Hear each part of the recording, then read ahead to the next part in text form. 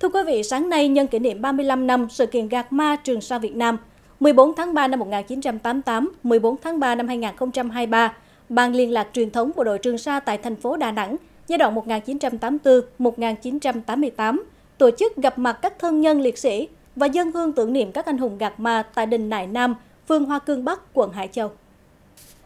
Tại buổi lễ, Ban liên lạc truyền thống bộ đội Trường Sa tại thành phố Đà Nẵng cùng các thân nhân liệt sĩ, đại diện lãnh đạo mặt trận thành phố, quận, phường và các đoàn thể đơn vị đã cùng nhau ôn lại sự kiện lịch sử gạt ma và tinh thần quả cảm, quyết tâm vô hạn, dũng cảm phi thường của 64 người lính đã hy sinh trong trận hải chiến hào hùng khi xưa để bảo vệ chủ quyền, giữ gìn lãnh thổ vùng biển thiêng liêng của Tổ quốc. Trong số 64 liệt sĩ đã ngã xuống, có 10 người con của quê hương Đà Nẵng và Quảng Nam anh hùng. Trong không khí trang nghiêm, với lòng thành kính và biết ơn vô hạn, các đại biểu đã dân hương tưởng nhớ công lao to lớn của Chủ tịch Hồ Chí Minh vĩ đại, cũng như các anh hùng gạt ma.